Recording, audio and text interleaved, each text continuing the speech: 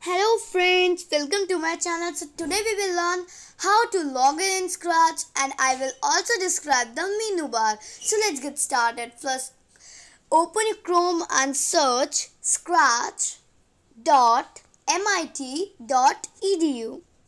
Press enter and then click on join Scratch. Now here you have to create your username. Suppose I have written Avni New. Now here you have to create your password. So write down your password.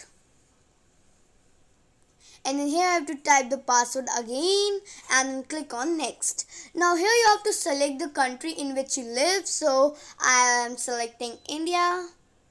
Click on next. Here you have to select your date of birth. Now click on next. Here I have to select a gender. So I will select female and then click on next. Now here you have to uh, enter your email through which you want to register. So let's write it. Then click on create your account. So has been a message. Welcome to Scratch Avni New. Want to share and comment? Click the link on the email we sent to the email through which you register. Now click on get started. Now let's go to the message box. There is one message welcome to scratch after you make okay okay fine. So let's go to my stuff. Now here has been an error. Confirm your email to enable sharing. To remove this error simply open your gmail. Now here you have to click on confirm my scratch account. And simply click on confirm my account. Click on ok let's go Now again go to my stuff. See there is no error means the error has been removed. It is the page of my stuff. So let's create a new project. Click on new project.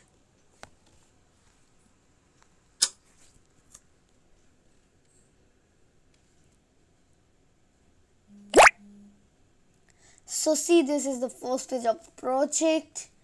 Now it is the header. You can also say it is the menu bar. There are several options provided to you. This is the block palette. Uh, many blocks are there for coding which are provided to you. This is the script area. Uh, it is used to drag and drop the blocks to for coding. It is the state. The effect of the coding has been shown here.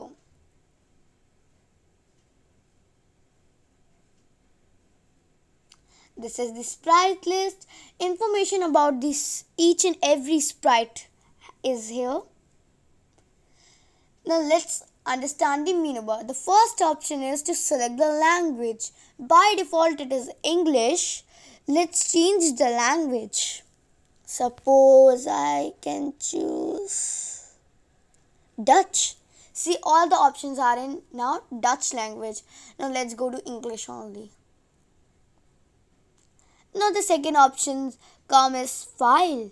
There are several options new, save now, save as a copy, load from your computer, save to your computer. The difference between save as a copy and save to your computer is uh, if you click on save as a copy, the project will be saved on the web and if you will click on save as uh, save on the computer, the project will be saved to your computer. So let's save it to your computer and see untitled.sb3 which is our extension has been saved.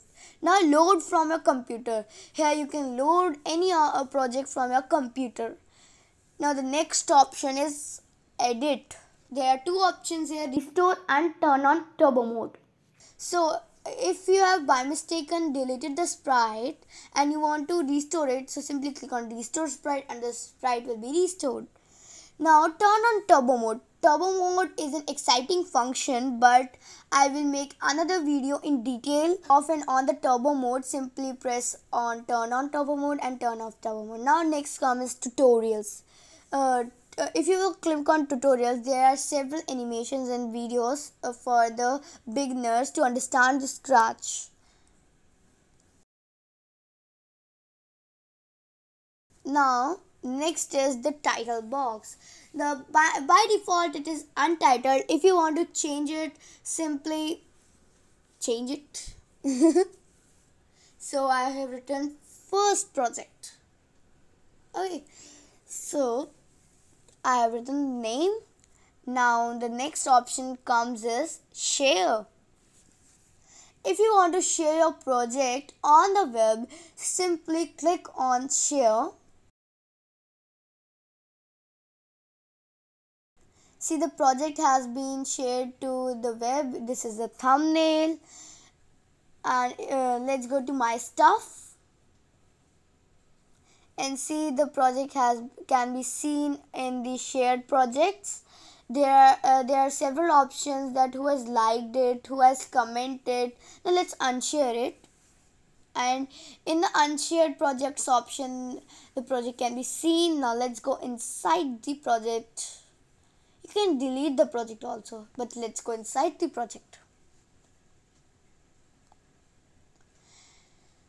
Now comes the option see project page. If you want to see your project page before sharing so click on that option see the title your thumbnail and the instruction box for the project. You want to share any instruction for the project? You have shared simply write in the instruction box and you can write the notes and credits also. And if you're ready to share click on the share option.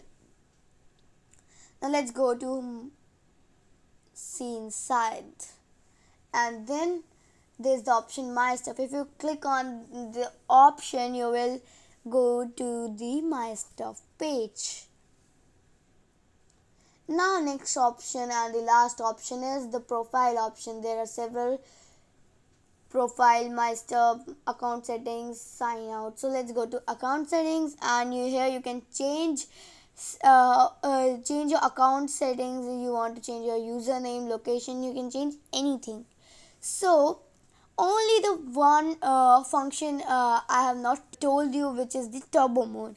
I will make another video. So till then bye bye.